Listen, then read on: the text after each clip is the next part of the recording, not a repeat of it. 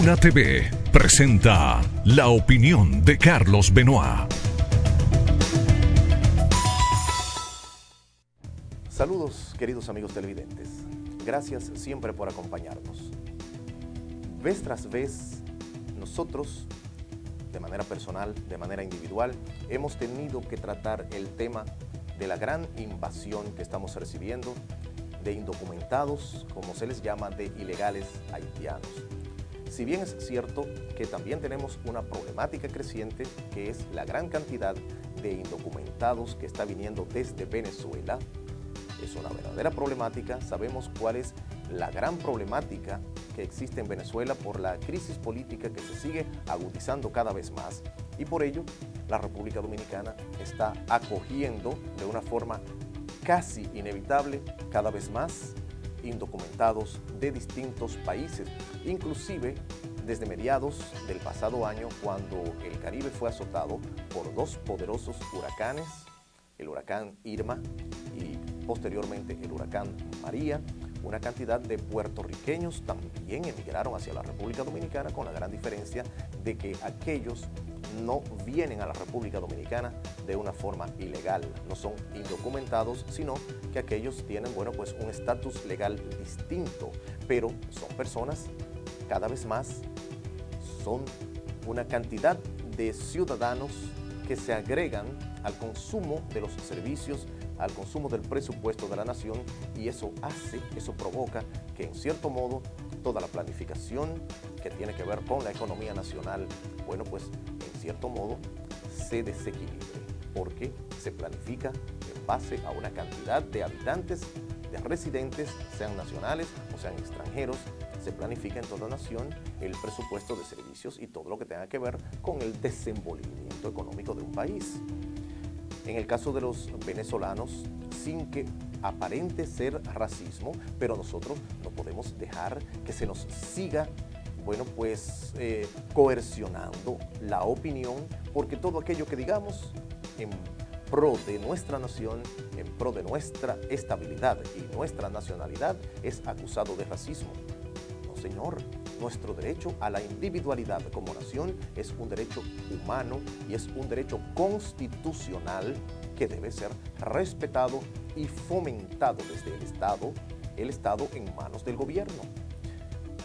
Vemos que una cantidad X, una cantidad determinada por las autoridades, en las cuales lamentablemente cada vez menos personas creen, dice que está establecida una cantidad de casi 20 mil haitianos que han sido detenidos en la frontera por tratar de reingresar posterior a las fiestas navideñas, cuando una gran cantidad, como hay puerta abierta en la frontera, de que siempre cruzan cuando eh, se les antoja, retornan cuando se les antoja por complicidad de las autoridades de todos los niveles. Entonces, para poder llamar a la atención, para poder decir que el gobierno está luchando en contra de la inmigración haitiana, ilegal, se está hablando de una cantidad de personas que han sido detenidas en la frontera, eh, que eh, la frontera está sellada, que se garantiza X cosas. Señores, todos sabemos que eso es mentira. Todos sabemos que el trasiego de haitianos indocumentados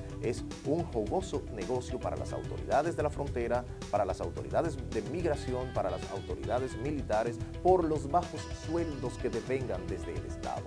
No es que esto lo justifique, pero es la razón consabida. No podemos tapar el sol con un dedo ni podemos nosotros estar obviando las verdaderas razones que traen las problemáticas de desequilibrio y de incumplimiento a las distintas leyes de la República Dominicana.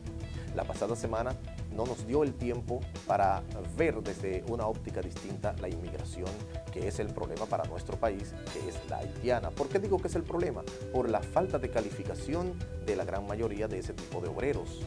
En el caso de los venezolanos no aplaudimos y nunca vamos a aplaudir que haya un indocumentado en eh, categoría irregular en nuestro país, pero eh, al menos hay una formación académica distinta, una preparación distinta y son más útiles y más productivos aquellos que tienen una formación distinta. Esto es lo que está incluso eh, haciendo el presidente de los Estados Unidos, Donald Trump, al negar la concesión de visas a mano no calificada de Haití.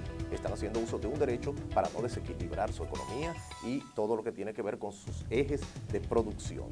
Entonces nos preguntamos la semana pasada brevemente y nos vamos a preguntar de nuevo para que podamos ver que no hay una verdadera intención de parte de la Presidencia de la República de detener la ola de haitianos indocumentados. ¿Acaso ha visto usted que se haya montado un operativo a la entrada de una emergencia de un hospital o a la entrada de una maternidad del Estado para detener la ola de haitianas que siguen cada vez más multiplicándose con los nuevos niños y multiplicándose en nuestros hospitales. Cuando veamos esto, entonces sí vamos a creer que tenemos unos verdaderos, unos verdaderos controles migratorios. Meditemos sobre ello. Que Dios les acompañe donde quiera que estén o a donde vayan. Amigas y amigos, hasta siempre. Luna TV presentó la opinión de Carlos Benoit. Hasta la próxima.